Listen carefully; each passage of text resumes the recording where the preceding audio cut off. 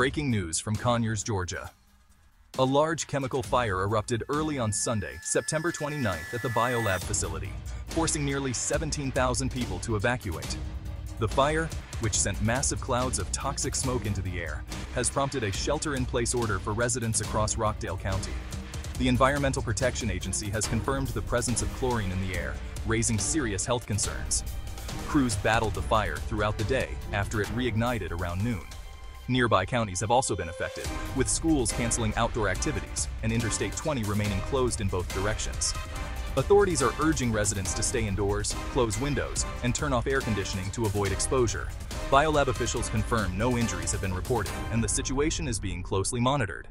Stay tuned for updates as the cleanup and air quality tests continue. Be sure to subscribe for more breaking news. Jurasis.